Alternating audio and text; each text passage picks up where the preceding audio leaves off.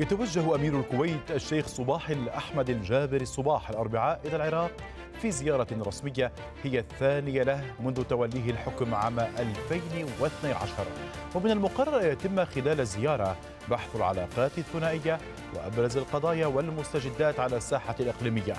وتأتي هذه الزيارة في ظل التوترات التي تشهدها المنطقة والأعمال التي استهدفت السفن النفطية والتجارية في المياه الإقليمية لدولة الإمارات العربية المتحدة وخليج عمان.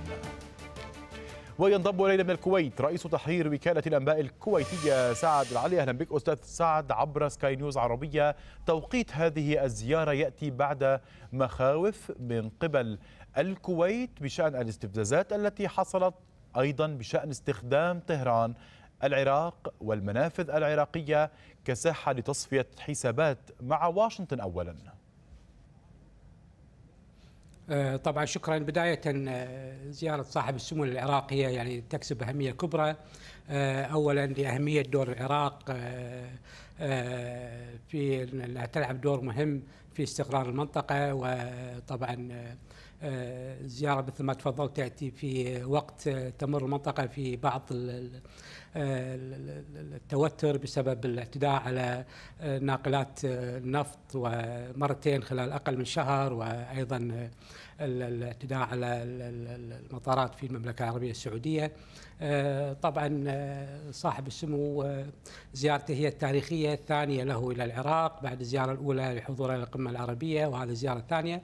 طبعا هي لها لها أهميتين. طبعا الأهمية الأولى هي طبعا الوقوف مع العراق للخروج من من من من عدم الاستقرار السابق إلى بلد الاستقرار الآمن. السبب الثاني طبعا هو أهمية دور العراق اليوم والعراق الآن ممكن أن تلعب دور كبير. في المساعدة في تهدئة الأوضاع في المنطقة ويعني المنطقة الآن لا تحتمل أي مزيد من التوترات. كما نرى اليوم عندنا الملف السوري الملف اليمني الملف اليوم دخلت اليوم ليبيا والجزائر والسودان. المنطقة برمتها لا تحتمل المزيد من التوترات. فيعني إن شاء الله هناك مساعي وصاحب السمو طيب أستاذ سعد اليوم الجار الكويت القوة الاقتصادية في جوار العراق الذي يعيش معاناة. هل يمكن تجاوز كل الملفات الماضية؟ هل يمكن تجاوز الفكر أيضا والمعاناة الكويتية من هذا التاريخ الطويل؟ أم أن هنالك لجان وملفات ستبدأ بالعمل؟ وأيضا بغداد تطلع إلى الكويت يعني كفسحة استثمارات ربما لبعد تجاوز كل ملفات الماضي وأيضا الجرح الكويتي. اولا خلينا ناخذ الشق الأمني. طبعا هو يعني هو استقرار العراق هو استقرار الكويت المنطقة هذا طبعا هذا شيء إحنا نؤمن فيه بالكويت. الكويت تدفع في استقرار العراق من الجانب السياسي ومن الجانب الأمني وأيضا من الجانب الاقتصادي. الشيء الثاني الاهم من كل ما تفضلت فيه هناك رغبة من الطرفين. هناك رغبة من الطرفين بإغلاق كل الملفات وزيارة رئيس الوزراء العراقي خلال فترة رمضان في الكويت وتصريحاته إن الآن إحنا في المراحل النهائية في إغلاق جميع الملفات مع الكويت. هي هناك رغبة من الطرفين بالإغلاق وليس يعني رمي الإلامة طرف إلى الآخر هناك رغبة من الطرفين بإغلاق كل ملفات بتوافق وباتفاق بين الطرفين. وهناك رغبة أيضا من الطرفين بتعزيز التعاون ليس فقط على الصعيد السياسي ولكن أيضا على الصعيد التجاري الصعيد الاقتصادي وعلى الأصعدة الأخرى.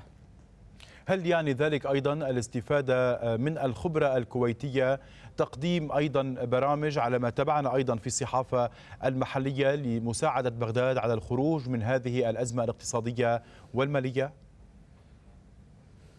والله الكويت لعبت دور كبير كما تعرف. يعني خلينا ناخذ الجانب الإنساني. كان لها دور كبير في الجانب الإنساني وما يتعلق في المساعدات إلى أشقائنا في العراق، الجانب الآخر الكويت احتضنت مؤتمر لمساعدة العراق قبل كم سنة. صحيح. وهذا طبعا مؤشر. والكويت هي مستعدة طبعا لتقديم العون إلى العراق لتقف على نفسها وذلك لإيمان الكويت بدور العراق في المنطقة على الشق السياسي والأمني والاقتصادي والتجاري وأيضا الثقافي. هذا يعني أيضا بأن هذا الدور الذي ستلعبه الكويت وهذه الزياره التاريخيه لأمير البلاد هو أيضا ربما لمنع الطامحين وتحديدا منع طهران من العبور إلى المنطقة عبر البوابة العراقية باختصار من فضلك أستاذ سعد. يعني هو طبعا هي طبعا يعني العلاقات الكويتية العلاقات العراقية الإيرانية ومن هناك هناك علاقات يعني كبيرة تربطهم ممكن يعني ممكن ممكن هناك يكون الاستفاده من هذه العلاقات إن العراق تلعب دور بشكل كبير بتهدئة الأمور في المنطقة وتهدئه الأمور في منطقة الخليج والمنطقة بشكل عام.